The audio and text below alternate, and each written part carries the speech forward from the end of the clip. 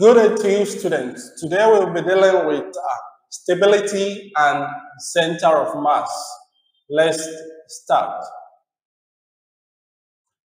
For us to be able to determine stability and the center of mass of an object to form a, uh, a sentence, we need to drag the following words into the correct boxes. The idea of moments can help us understand why some objects are stable while others are more likely to topple over. A tall glass is easily knocked over because most of its mass is concentrated high up above its stem. So this fully gives us the definition of stability and center of mass. So we check. That's correct. We are to observe the figure below. Looking at this glass cup, the weight in figure A is acting downward while the contact force, let's say the glass is placed on a table, is acting upwards. For figure B, the glass also, as in figure A, is filled with a liquid. The weight is acting downward while the contact force is also acting upwards. But for figure C, the line of action of its weight is beyond the edge of the base, that is where the contact force lie. So the glass will likely tip right over. So we are to drag the following words into the correct boxes for us to be able to have a full definition of those particular observation. In figure A, when the glass is upright, okay, the weight, is it available? Yes, acts downwards. And the contact force of the table acts upwards. In figure B, if the glass is tilted to the right, the forces are no longer in line. It has an anti-clockwise moment, which tips the glass back to its upright position. In figure C, since the glass is tipped further, the weight of the glass, all right, acts to the right, and it has a clockwise moment which makes the glass to tip over. So we check. Correct.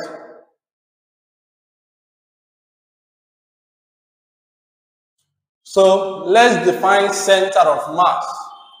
Object behave as if all of its mass were concentrated at its center. This is known as the center of mass. Let's check whether we are true or false. Okay? True, that's correct. A tall glass is top heavy because the center of mass is high up. Force of gravity acts on the mass of the glass. Each of the glass is pulled by the Earth's gravity. We are to drag the following words into the correct boxes to also define center of mass. For an object to be stable, it should have a low center of mass, okay, and a wide base. So let's check. Correct.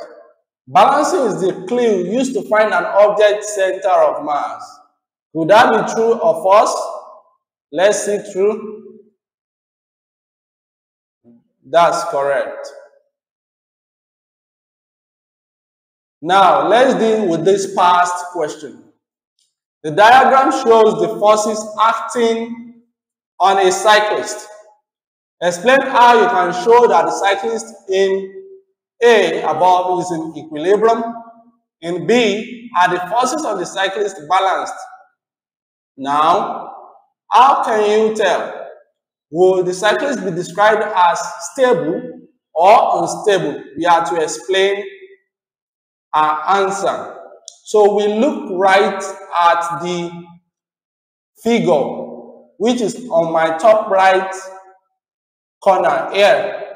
We have figure A and figure B. For figure A, we have the cyclist whose weight is acting downward and the contact force is acting upward.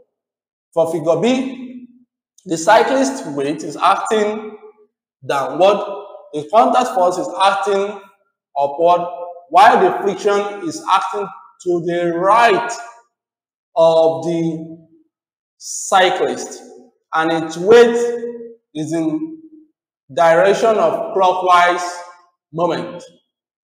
So in figure A, the weight of the man is directed and acting downwards, which we always act downward, while the contact force, okay, from the man is directed upwards. In figure B, during movement, the weight of the man is directed and acting downwards, while the friction is directed along the right hand side on the road. This is balanced by the contact force acting directly opposite the weight and the friction. The cyclist in B is described as unstable because friction is at work due to a change in motion. Can we check? That's correct.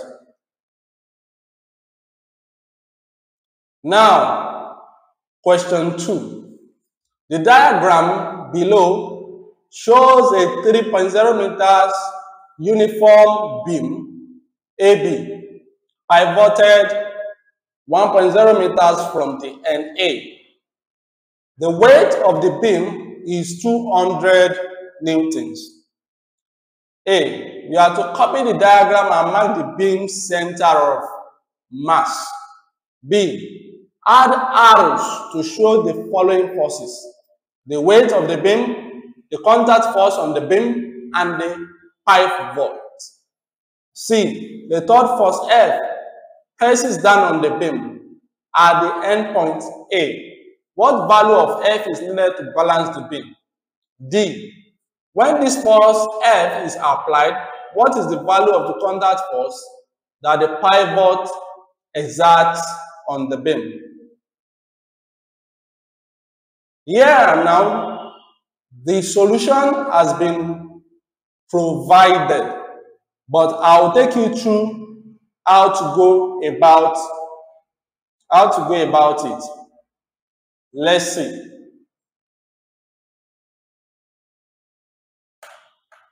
Now, looking at question A and question B together, we are to look for what? Um, the center of mass. Don't forget that the beam is 3 meters long. And when we are talking about center of mass, the center of mass of any object will always be at the center. So we drawing the diagram now. I have where the pivot is like this. So with that, my weight is acting downward. Contact force is acting upward. Now, this region from here to here is 1.0 meters and weight is being placed here or let's call it force F. Then from the pivot down to the other edge is 2 meters. 2.0 meters. And don't forget that center of mass, we always act at the center. 1 plus 2 is 3. Unit is in meters, that's 3 meters. Divided by 2 will give us 1.5 meters. So let's pick this point as our 1.5 meters. That will form the region of our center of mass. So I have F now to be the force that we are asked to label. I have W as weight. I have CF as contact force. And I have CM as the center of mass.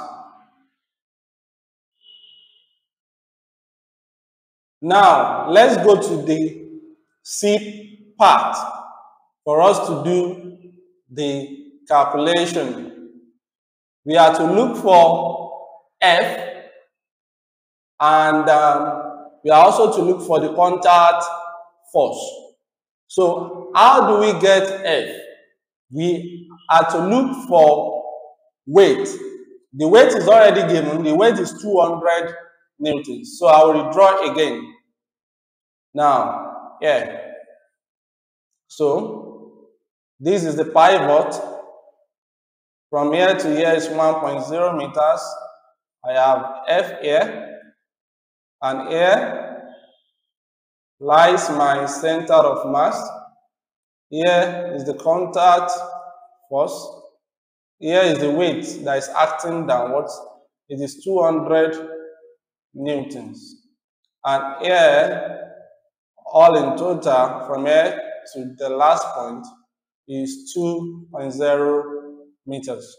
Now, places to the left, we have anticlockwise moment, and places to the right, we have clockwise moment. If we should look at the diagram critically, we will see that we have two anti-clockwise. One from the one meter pivot down to the force, which is unknown, and from the edge, two meter of the whole length of the beam down to the what? Down to the force. Then we also have one clockwise moment from the edge of the pivot all down to the right.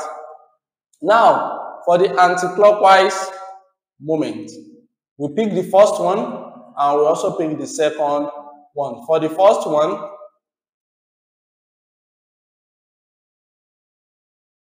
I have that's 1.0 times F. That gives F on its own. For the anti second anti-clockwise moment, I have 3.0 in terms of the distance times F. That gives 3F. So the total now gives us 4, 4F.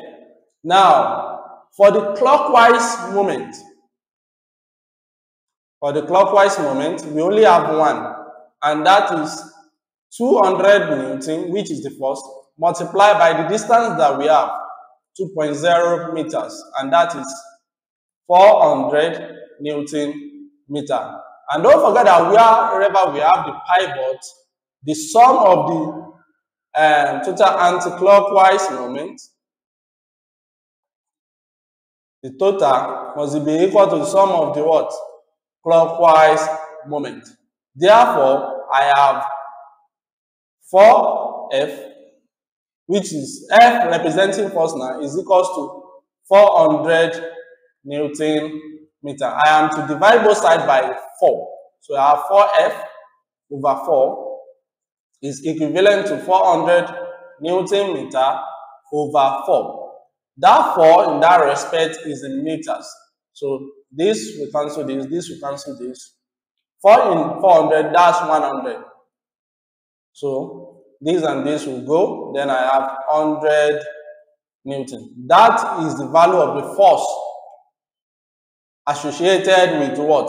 The left-hand side, the anti-clockwise moment. So we are also to get the D part, we are to get the value of the contact force. That is with the total um, accumulation of all the forces acting on the um, ruler or rule. For the contact force now, we have weight, which is 200 Newton.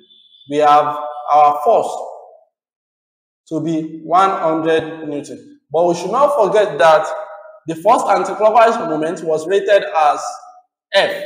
So that will give rise to what? AM1. From AM1, that will give rise to force 1. That's 100 Newton. And for force 2, from the second anticlockwise moment, we have 3F. That will be 3 times 100 Newton. That's equivalent to 300 Newton. And also,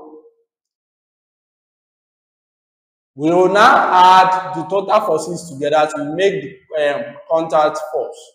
So that gives 200 plus 100 plus 300, all in newtons. So our answer now is 600 newtons. That solves the question. So we proceed now, we move on.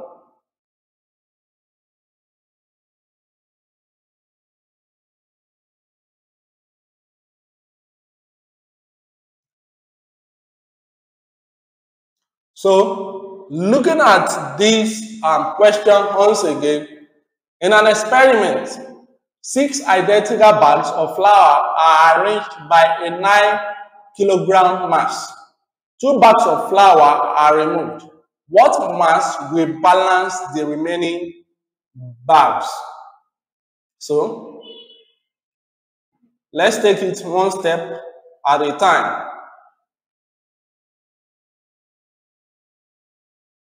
Now we have six bags, all having a balance of 9 kilogram mass.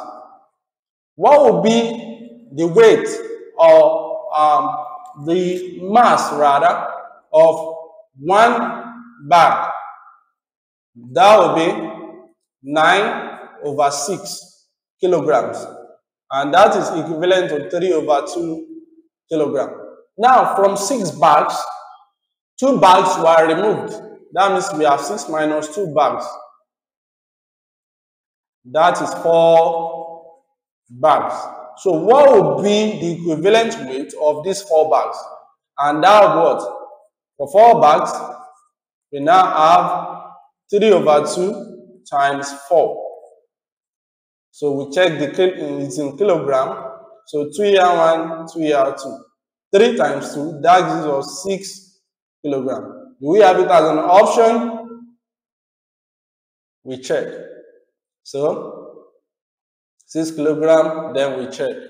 That's correct. Now, let's proceed. For an object to be stable, it must have a low center of mass and a wide base. Is that true? Let's check. That's correct.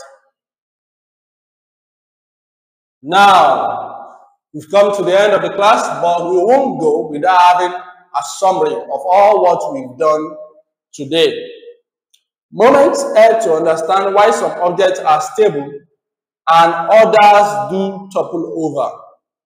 That statement is fully um, correct, but we can't leave other options out. We have to check their validity also.